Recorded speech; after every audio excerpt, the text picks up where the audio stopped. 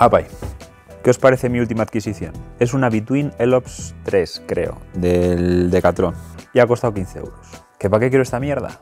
Pues no lo tengo claro, pero tengo varias ideas. Como veis en este cuadro, el tubo de dirección es bastante largo.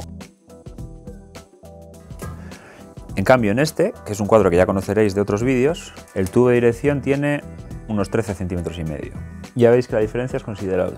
La idea es ver si puedo cortar este cuadro por aquí, doblar esta barra para arriba y cambiar este tubo de dirección por el otro de la otra bici. Haciendo eso voy a cambiar un poco la geometría de la bici, de forma que va a quedar un poquito más corta y el manillar va a quedar un poco más alto. O va a quedar igual de alto, pero sin necesidad de sacar tanto la potencia. Y algunos os habréis fijado que hoy vengo todavía menos elegante que de costumbre. Y eso es porque toca usar la radial. Con la radial, cuidado que engancha. Hace unos años eh, participaba en un foro llamado Bicis Chopper. Era un foro español de gente que hacía bicicletas chopper. Antes de que yo tuviera una radial, allí siempre decían que era una herramienta que cuando empezabas a usarla te enganchaba. Y es cierto. Es una herramienta con la que puedes hacer muchas cosas. Así que cuidado que engancha. Y sí, esto es la colada.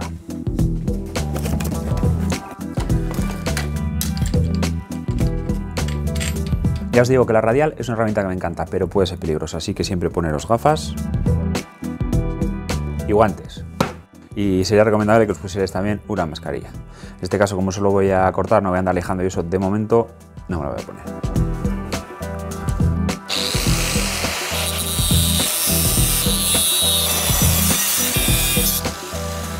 Ahora tengo que ver cómo doblo el tubo arriba sin cargarme nada.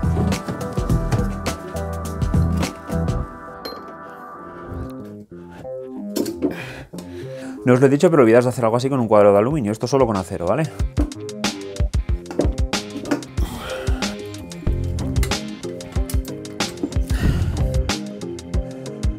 Ya se va doblando por aquí, ¿veis?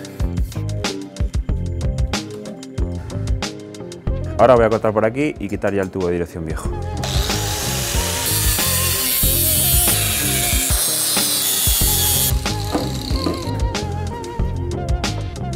Ya veis que los tubos de las bicicletas suelen llevar agujeros donde uno un tubo con otro. Normalmente no son tan grandes como estos, pero siempre los llevan. Antes de cortar la bicicleta verde voy a desmontarle potencia de manillar. Esta bici es de una época en la que la gente del Decathlon se atrevía a hacer diseños más originales que los que hacen hoy en día. Ya veis la forma que tiene el cuadro y ya veis también este manillar. Personalmente me gustaba más cuando se atrevían a hacer cosas así que ahora que van un poco a diseños más convencionales.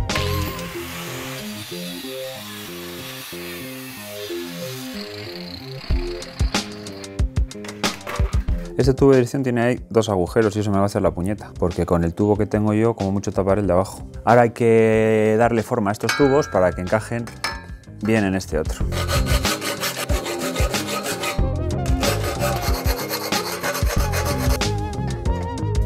Voy a desmontar la horquilla y así pulir toda esta zona para dejarla lisa.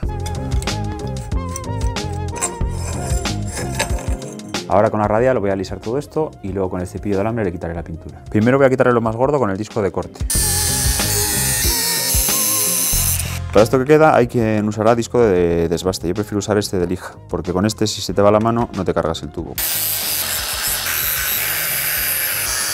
Listo, ya veis que no queda liso liso, pero ahora le paso con el cepillo de alambre y además de quitar la pintura, pues lo, lo igualo un poco. Siempre que vayáis a cambiar de disco con la herramienta desenchufada.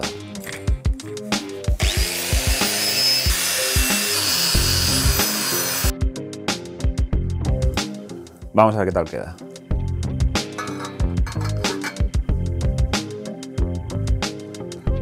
Yo creo que bien. Aquí vemos la diferencia entre el cuadro que llevo montado ahora y este que acabo de modificar. Esta barra es bastante más larga, porque este cuadro ya era de una talla un poco más grande que el otro. La razón por la que cambié este cuadro por el otro es precisamente que ese es de una talla un poquito más pequeña tenía la barra vertical un poco más corta. El sillín me va a quedar un poco más atrás y el manillar me va a quedar un poco más adelante y un poco más alto. Quizá debería cortar un poco estas barras para hacerlo un poco más corto. Hoy es el día siguiente y mirando el cuadro a la luz del día me he dado cuenta de que el tubo de dirección no está paralelo al tubo de la tija del sillín, está un poquito más vertical. Así que voy a limar un poco el tubo de arriba para inclinar un poco más el tubo de dirección y que los dos queden paralelos.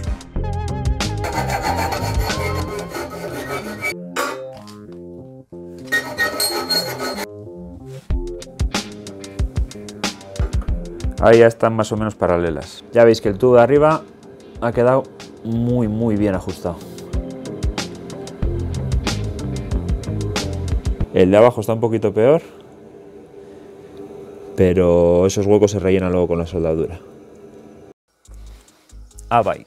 Han pasado varias semanas desde que grabé lo que acabáis de ver, y por una cosa o por otra todavía no he ido al herrero a que suelte el cuadro.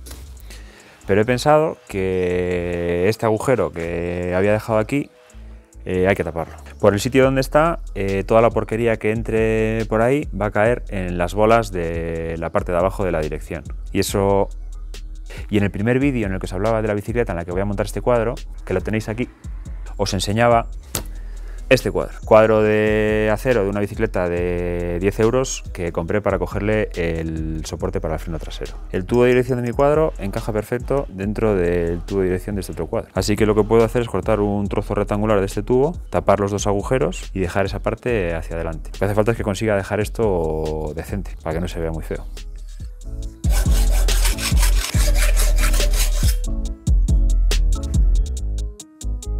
Ahora voy a ver si le doy una forma un poco bonita con la lima, redondeando los bordes y demás.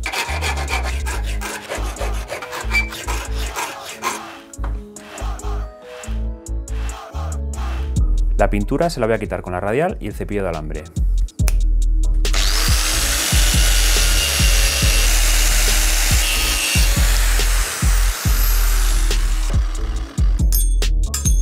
Y así es como va a quedar.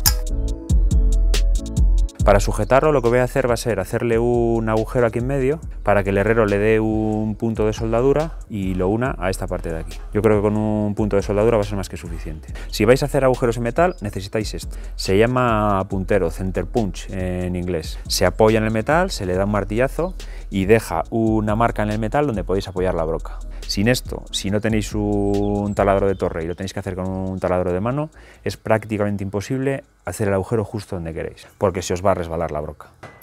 ¿Veis la marca que hace? Ahí ya podéis apoyar la broca. Pues ya solo queda hacerle un par de agujeros nuevos en la parte de atrás para comunicar este tubo con los tubos del cuadro.